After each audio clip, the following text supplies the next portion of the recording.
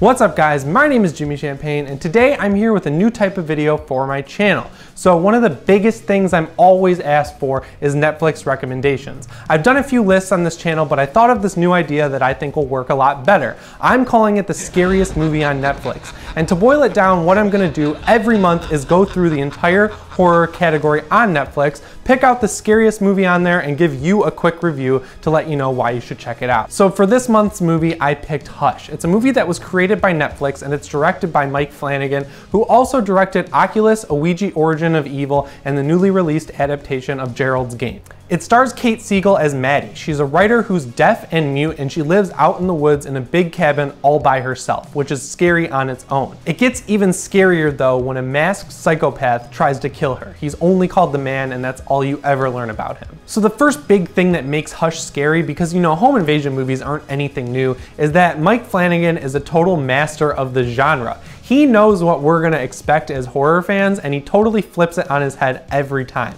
I guess one thing that really always got to me in this movie is the fake out jump scares. He always knows how to set them up in really obvious ways so you anticipate it. You can almost feel it coming and then it doesn't happen. And that exhale you let out, you're like, wow, I was really tensing up because you're preparing to be scared and then not being scared totally confuses you and puts you off guard. And I really like that. Another big thing that makes this movie scary is the fact that the killer really has no motivation. He seemingly picks Maddie's house at random and decides to kill her. And it's pretty cool. It's actually very scary and it reminds me a lot of The Strangers or Halloween. And finally, the way they handle the fact that Maddie is deaf and mute is super respectful. They obviously did a lot of research so this wasn't just a gimmick, it's an actual benefit to the movie and I think that's really cool and it's very hard to do right so I appreciated that. Maddie is also a really strong and intelligent character. She's kind of an analog for the way Mike Flanagan directed this movie because she's always one step ahead of the man. You actually do get to see scenes where she makes big dumb mistakes and it totally gets you